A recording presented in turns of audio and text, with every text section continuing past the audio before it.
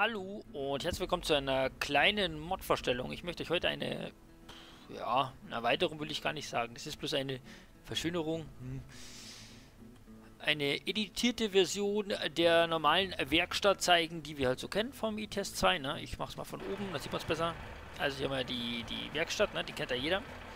Und hier ist es jetzt so, Motor aus, Sprit sparen, ist es jetzt so, dass ihr jetzt hier noch eingezeichnete äh, Parkplätze habt hier und da bisschen mehr Bepflanzung ist hier hinzugekommen, wie man gut erkennen kann. Und ähm, ja, hier sind die Tore offen. Zwei Stück an der Zahl, da kann man reinfahren. Drücken kann man nichts. Das ist halt einfach nur so.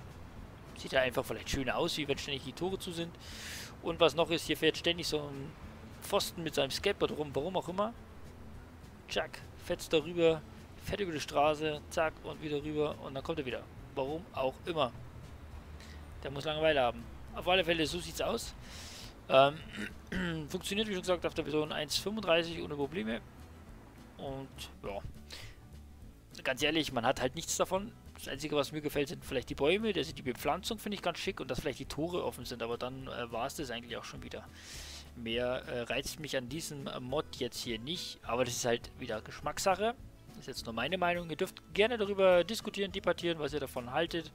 Und dann äh, gern kommentieren. Dann würde ich sagen, viel Spaß damit, mit dieser Erweiterung der kleinen Garage, äh, nee, der kleinen äh, Werkstatt. Und, ja. Genau, mehr will ich dann hier nicht hinzuzufügen, habe ich nicht mehr hinzuzufügen.